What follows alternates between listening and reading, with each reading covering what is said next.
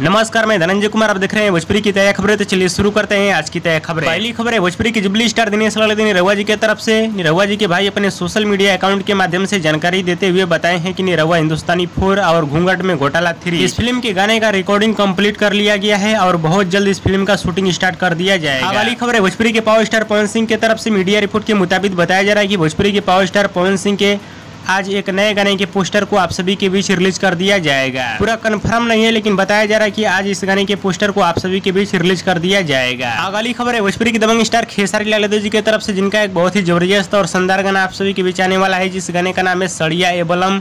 आज इस गाने को रिलीज़ किया जाएगा सुबह पाँच बज के पैंतालीस मिनट पे। सुजय म्यूज़िक वर्ल्ड के यूट्यूब चैनल पे, और एक बार ज़रूर इस गाने को सुनिएगा, बहुत ही शानदार गाना है। अगली खबर है, भोजपुरी के गायक और नायक प्रमोद प्रेमी यादव जी की तरफ़ से, जिनका एक बहुत ही ज़बरदस्त और शानदार गाना आप सभी के बीच आने वाला है जिस गाने का नाम है लजा गैली।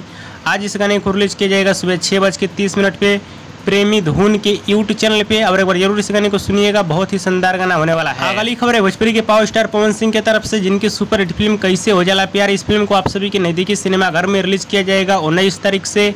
और एक बार ज़रूर इस फ़िल्म को अपने नजदीकी सिनेमा घर में देखिएगा, बहुत ही शानदार फ़िल्म है। और इस फ़िल्म के स्टार कास्ट में है पवन सिंह। और कैला राघवानी। अगली खबर है भोजपुरी की दबंग स्टार खेसारी लाल यादव जी की तरफ़ से, जिनका एक बहुत ही ज़बरदस्त और शानदार सैड सॉन्ग गाना आप सभी के बीच आने वाला है।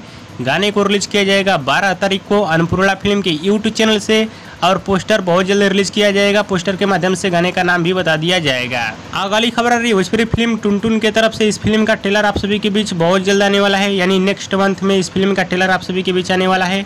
और इस फ़िल्म को डायरेक्ट किए हैं पराग पाटिल और इस फ़िल्म के स्टार कास्ट में नज़र आएँगे भोजपुरी के नए कलाकार। और दोस्तों, आप लोग की अच्छी खबर कैसी लगी नीचे कमेंट बॉक्स में ज़रूर बताइएगा और इस वीडियो को ज़्यादा ज़्यादा लाइक करें कमेंट करें शेयर करें सब्सक्राइब करें। धन्यवाद दोस्तों।